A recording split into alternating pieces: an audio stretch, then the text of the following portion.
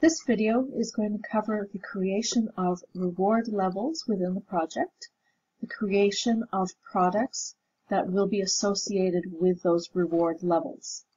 To start off, we have our project and we're going to create four different reward levels. Each level will have a unique price and you can add a description as you like. I'm not going to worry about level limits.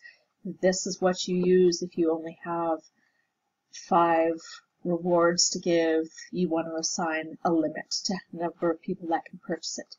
To level order, if you're creating your reward levels in the correct order you want them to appear on the project, you do not need to do anything with this here.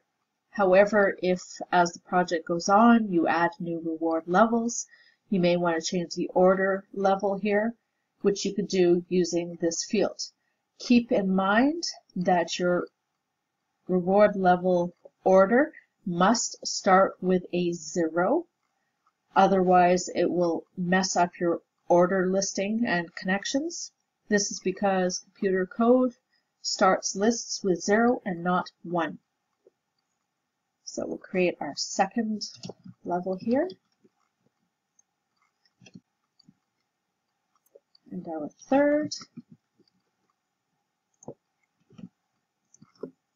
And we're also going to create a pay what you want, which we can leave the price as blank because this is going to be entered by the supporter. Now that we have our levels, we will save the project.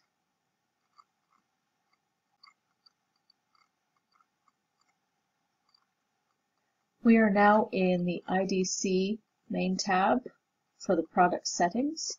We are going to create our reward levels. I've already created these ones in an earlier video.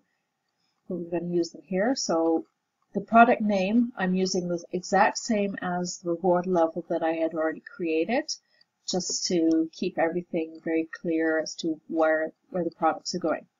So IgnitionDeck 1 at $10. IgnitionDeck 2 was $20. We're also using the order transaction type. What this is, is the immediate transfer, so the money will be captured from the supporter immediately. Three, $30, and we pay what you want. Here I have actually entered $1, and the reason for this is that it guarantees a minimum pledge by the supporter. Now that we have our products created, we're going to link them to the reward levels. We do this in IDC crowdfunding. We'll now select each of the products and assign them to the correct reward level. The here is where the product name and the reward level name is very handy. As you can see, the box is now grayed out, so it's no longer selectable. That connection has been made.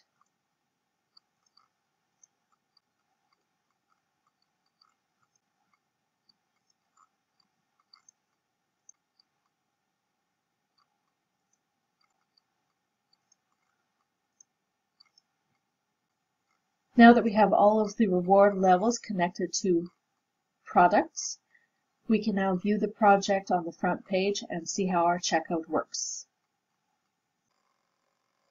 When we view the project now on the front end, we can see our four reward levels that we set up, including the pay what you want. Clicking on the support now button brings up our drop menu with our various reward levels. So let's do pay what you want. And we can see in our checkout that we are now being directed to PayPal or if you have Stripe or another processor available, that option will be available to you as well.